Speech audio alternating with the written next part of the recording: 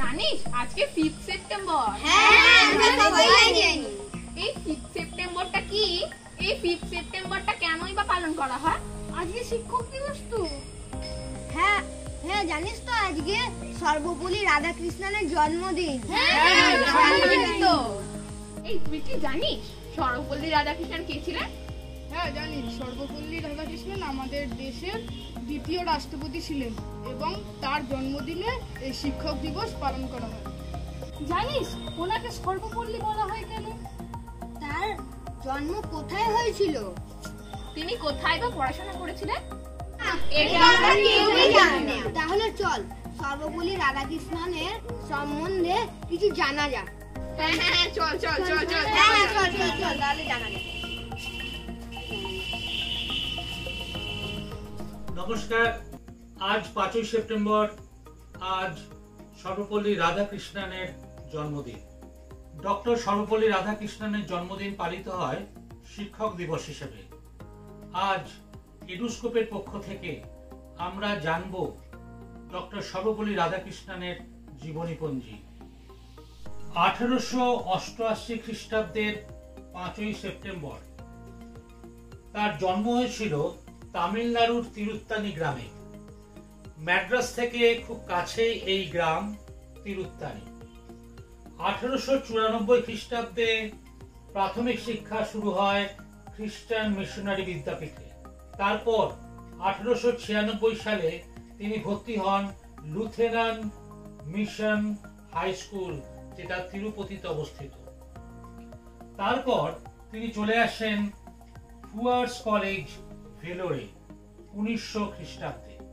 সেখান থেকে উনিশশো চার খ্রিস্টাব্দে এফএ ফার্স্ট ইন আর্টস পাশ করেন এবং সেই বছরই তার ষোলো বছর বয়সে বিবাহ সম্পন্ন হয়। সেই বছরই ম্যাড্রাস খ্রিস্টান কলেজে ভর্তি হন গ্র্যাজুয়েশনের জন্য। তার দু বছর পর উনিশশো ছয় খ্রিস্টাব্দে তিনি গ্র্যাজুয়েট হন। উনিশশো আট খ্রিস্টাব্দে মাদ্রাস বিশ্ববিদ্যালয় থেকে এম পাশ করেন। তার বিষয় ছিল দর্শন। যদিও তিনি খুব দরিদ্র ঘরে জন্মগ্রহণ করেছিলেন, তার পিতা ছিলেন ভীরাস্বামী এবং মাতা সীতাম্মা। ছোটবেলা থেকেই তিনি ছিলেন খুব মেধাবী। প্রতিটি পরীক্ষাতেই তিনি কোনোদিন দ্বিতীয় হননি এবং তার সমস্ত পড়াশোনার ভার তিনি নিজের কাঁধেই তুলে নিয়েছিলেন। প্রতিটি ক্লাসে তিনি বৃত্তি পেতেন এবং সেই বৃত্তিতেই তার পড়াশোনার খরচ নির্বাহ হতো। তিনি ছিলেন অত্যন্ত মেধাবী। দর্শন শাস্ত্র তার পড়ার কথা ছিল না। কিন্তু গ্র্যাজুয়েশনে ভর্তির সময় তার দূর সম্পর্কের এক দাদা তাকে দর্শনের বই দিয়েছিল এবং সেই বই নিয়ে সে পড়াশোনা শুরু করেন এবং দর্শন নিয়ে তিনি বিএ পরীক্ষা দিয়েছিলেন। এম এ পড়ার সময় তাকে একটি গবেষণাপত্র লিখতে হয়েছিল। তিনি লিখেছিলেন এথিক্স অফ বেদান্ত এবং সেই লেখাটা তার সমস্ত প্রফেসরদের কাছে অত্যন্ত প্রশংসা কুড়িয়েছিলেন। উনিশশো এগারো খ্রিস্টাব্দে তিনি ম্যাড্রাস প্রেসিডেন্সি কলেজের সহকারী অধ্যাপক হিসেবে যোগদান করেছিলেন। তারপর থেকে বিভিন্ন কলেজে দেশে এবং বিদেশে বিভিন্ন বিশ্ববিদ্যালয়ে তিনি নিজেকে অধ্যাপনার কাজে নিযুক্ত করেছিলেন। উনিশশো আঠারো থেকে উনিশশো একুশ খ্রিস্টাব্দ অব্দি তিনি ছিলেন মায়াসর বিশ্ববিদ্যালয়ের অধ্যাপক।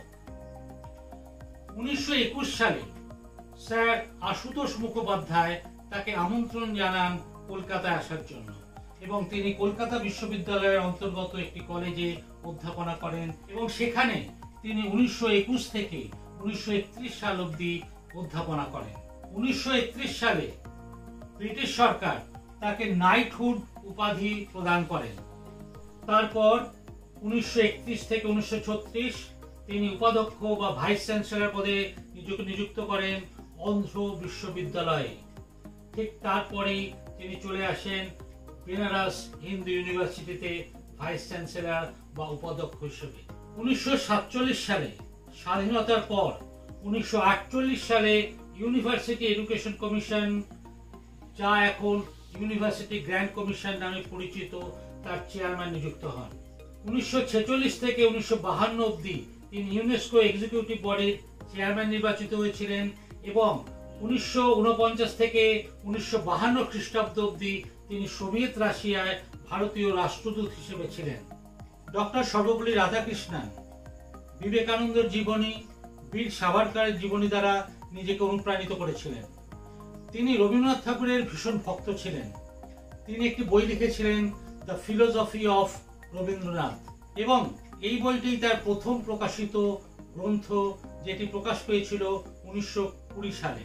তারপর উনিশশো সালে ডক্টর সর্বপল্লী রাধাকৃষ্ণন ভারতবর্ষের উপরাষ্ট্রপতি হন এবং উনিশশো থেকে উনিশশো বাষট্টি অবধি দুবারের জন্য তিনি এই পদে নিযুক্ত ছিলেন। এই সময়ে উনিশশো চুয়ান্ন সালে তিনি ভারতরত্ন পুরস্কার পান এবং উনিশশো ছাপ্পান্ন সালে তার স্ত্রীর মৃত্যু হয়। উনিশশো বাষট্টি খ্রিস্টাব্দে ডক্টর রাজেন্দ্র প্রসাদের মৃত্যুর পর তিনি ভারতবর্ষের দ্বিতীয় রাষ্ট্রপতি হিসেবে নিজেকে নিযুক্ত করেন।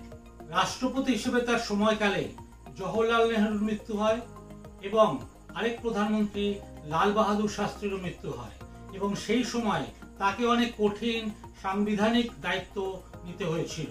উনিশশো বাষট্টি খ্রিস্টাব্দে তিনি যখন প্রথম রাষ্ট্রপতি হন, তখন তার ছাত্রছাত্রীরা এসে তাকে বলেন, আমরা আপনার জন্মদিন পালন করব।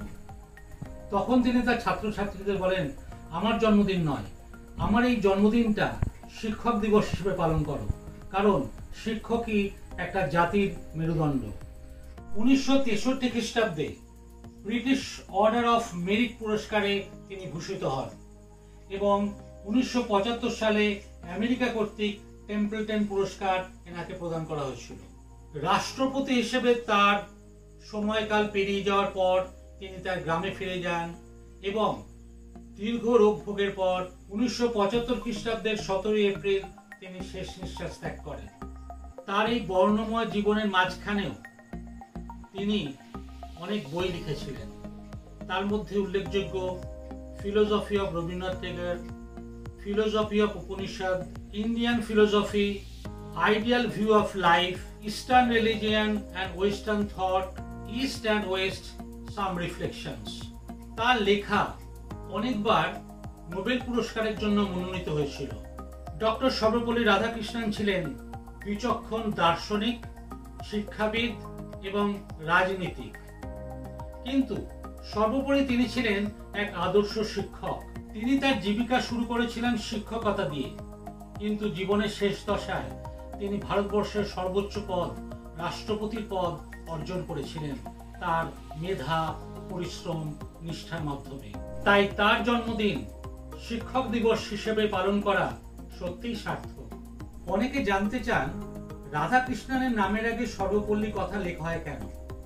রাধাকৃষ্ণনের পূর্বপুরুষরা যে গ্রামে থাকতেন, তার নাম সর্বপল্লী।